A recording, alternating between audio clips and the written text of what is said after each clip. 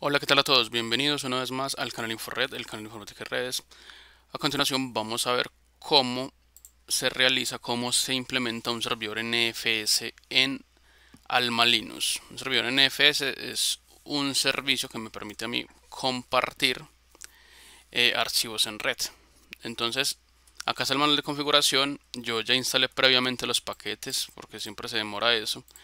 Vamos a tener como como servidor Alma Linux y como cliente un Red Hat, ¿cierto? Entonces, los paquetes de instalación son yum install nfs, nfs-utils, pero como yo ya los instalé, aquí está, yo ya los instalé, entonces ya no nos vamos a preocupar por eso. Si les sale esta opción, de que tienen un proceso pendiente, pues ustedes lo eh, ejecutan ese comando. Vamos a crear el archivo que vamos a compartir. Vamos a decirle mkdir mkdir p voy a poner nfs y voy a poner compartida 2, por ejemplo. Me faltó la P, menos P. Ahora a eso le voy a crear unos permisos chmod 777 menos 777 menos R perdón menos R 777 y va a ser a esa carpeta. A NFS y todo lo que se dé para, para adelante. Ahora voy a ir y voy a inicializar los servicios. Solamente este y este los de aquí para abajo. No estos log y de map no funcionan. Entonces vamos a decirle systemctl start nfs, nfs server. Y además de eso lo voy a habilitar para que inicie con el servicio cuando con el servidor cuando encienda. También voy a iniciar el rsp bin. Espera que lo copie mal. Rpc bin. Y también lo voy a inicializar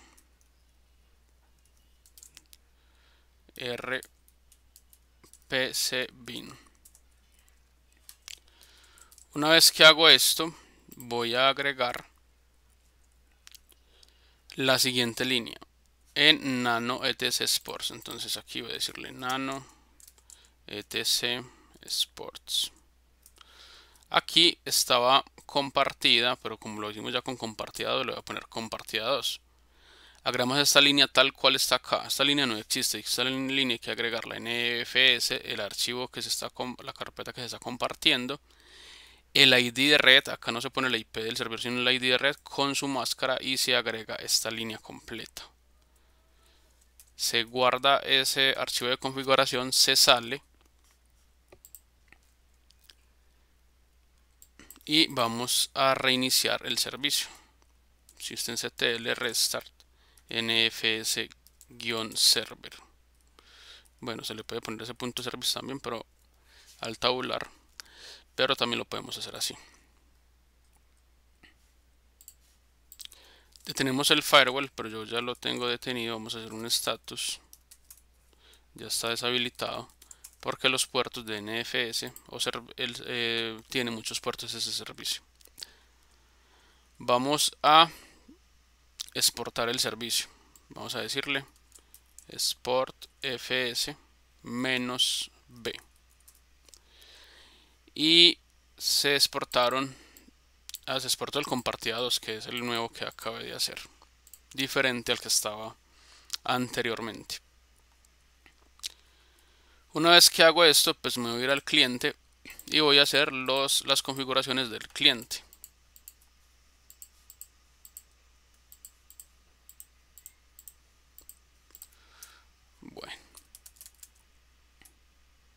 Voy a ir al cliente. También instalo los paquetes de nfs utils menos y pero acá ya están instalados también. Para que para que el video no sea muy largo. Inicializamos los servicios también systemctl start nfs server. Y inicializamos rpc bin. Además también los habilitamos le ponemos enable y le ponemos enable a nf server.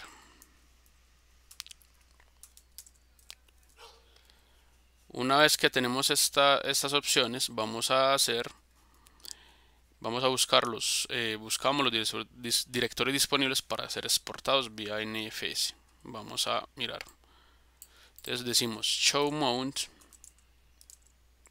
menos e y la IP del servidor. Recuerden que tienen que estar en el mismo segmento de red tanto por interfaz aquí debe decir LAN o el segmento de red que tengan y acá también debe decir lo mismo y se tienen que dar pin para poder que eso funcione. Vamos a darle enter y acá me sale que está listado compartido 2 ahora vamos a montar el directorio. Vamos a decirle mount menos t mount menos t nfs la ip del servidor que es la 102 de acuerdo con los últimos servicios que hemos configurado. Decimos dos puntos. Y venga revisemos algo aquí en esto. Acá no hemos acá instalamos los, las cuestiones pero no hemos creado el punto. Antes de hacer esto toca crear el punto. Vamos a decirle mkdir vamos a crear mkdir menos p mnt nfs y aquí hay un compartida que aquí hay un info share pero no vamos a hacerlos con compartida que era los ensayos que está haciendo. Acuérdense que es compartida 2 se debe llamar igual. Le doy enter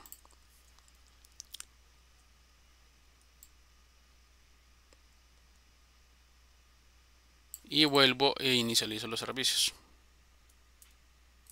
Voy a darle aquí restar. Ah, me faltó la I.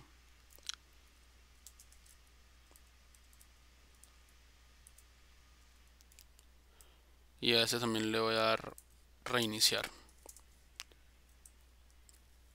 Ahora sí vamos vamos a volver a hacer el show mount menos c y miramos los servicios y ahora lo que vamos a hacer es que montamos el directorio en la ruta creada anteriormente. Entonces le decimos mount menos t